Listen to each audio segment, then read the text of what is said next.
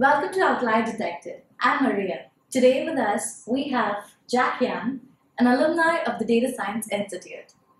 He's going to share with us the transformative journey that he had from this university. Hi, Jack. Hi, Maria. Hi, everyone.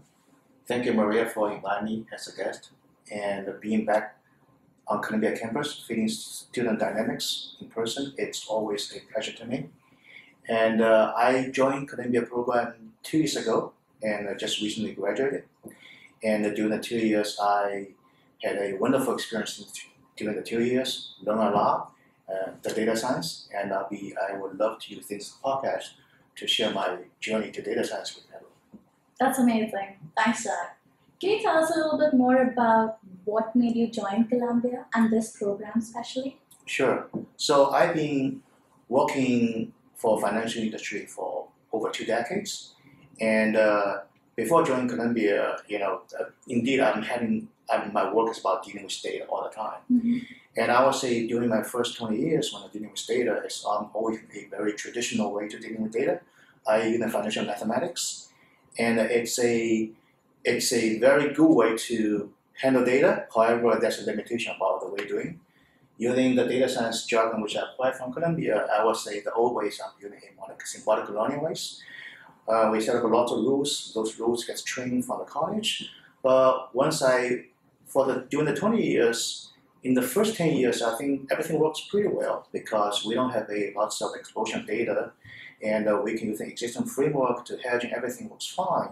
But then for the last 10 years, we are always facing by the trading, by the management say, I give you more data, can you hand us more data? And uh, usually the more better. Unfortunately, for the data approach I'm using in the past, the more become unhandling. So I try to say, okay, maybe it's the way to for me to the other approach to learn the data, maybe something product like neural networks. That indeed triggered me to learn data science in a more modernized level. And uh, that's how I chose in Columbia Data Science program. And I'm grateful to have uh, this opportunity to join the data science program and to learn the data science. That's amazing. Thank you.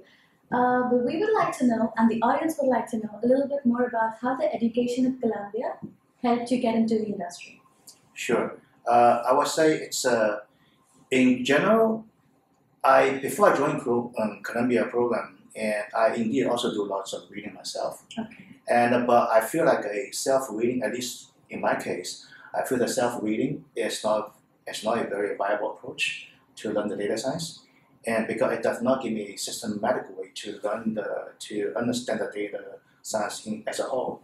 And uh, in those days, my experience would be I when I come across a methodology from my buddies, my friend, and I often try to overuse this kind of methodology. And when I read the books, I just read a chapter linked to this methodology, and uh, it's very biased reading.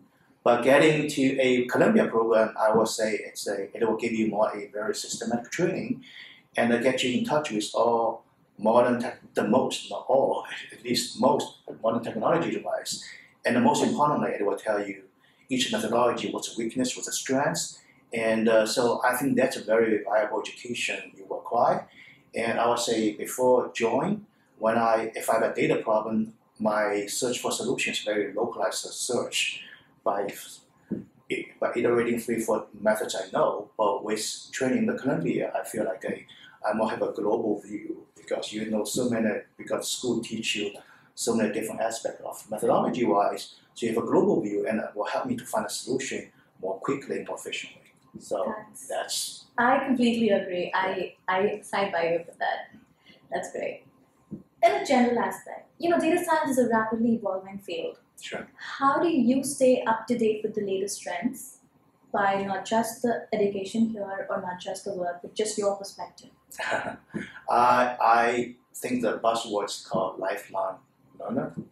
And uh, it's a, yes, you're absolutely right. I would say the data science wise, there is a, the nascent technology, the theory happen continuously. Yes. And uh, right now after good education in Columbia, I do have a good starting point.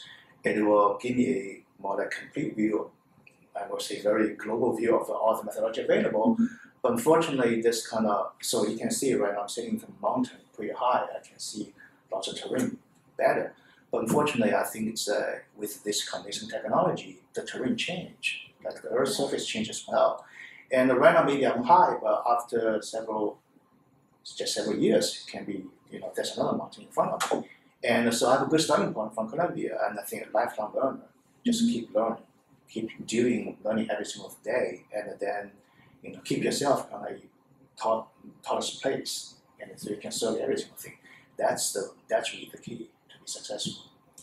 That's amazing. Uh, how would you handle situations where data analytics doesn't provide clear answers or unexpected results? I would say lots of big discovery is come from unexpected results. So, Yeah. uh, but I would say it's the most important part to training here.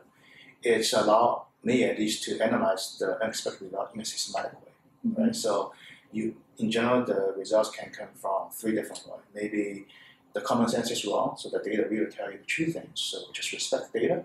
But before you reach that conclusion, you should really analyze the it's A as a it's our causal graph, right? We think A cause B, so therefore we run the study, but maybe our causal inference is not kind of correct. That's then one. Our theory can be wrong. Two can be the data is wrong, but I think lots of uh, data science person, uh, scientists may ignore this, but I think more just from practitioner person when you practice it. Lots of expert here, um, but so in practice, I think people can ignore this part because, but we know data are not created even, and uh, you know the data we created can be sampling wrongly, environment can be changing, can be can have some special treatments. So I think it's so the three steps. Again, I would say this a three step systematic like understanding is also quite a knowledge from here. It's very the first one just say check the data. Make sure the data you collected is what you expected. Mhm. And this is not easy job. It will take some time. And then once you understand the data is what you expected, though there's no bias, then just revise your theory to see your theory is correct. And then in the end, if you believe your theory is right and your data is right, then stick with your opinion because we have to stick the truth. And when we do a finance, when we give a trade suggestion or reduce the risk, we have to face the fact. Even smooth out the fact, the fact can against what we think at the beginning. That was some great advice and great information. Thank you. In terms of uh, your coursework and projects at Columbia, could you uh, share with the audience a little bit of your favorite projects or favorite research you have? I think every single project in Columbia is very interesting, and uh, I kind of, in I, I would say the project is the best way for you to connect what you learn in school and to some real world problems.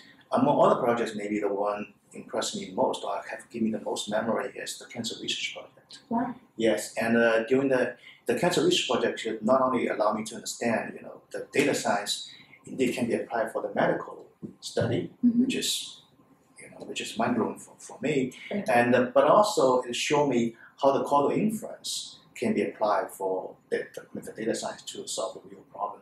Okay. And uh, so therefore this uh, this invaluable experience applied the causal inference for the cancer drug identification to identify and then help to diagnose person's cancer now.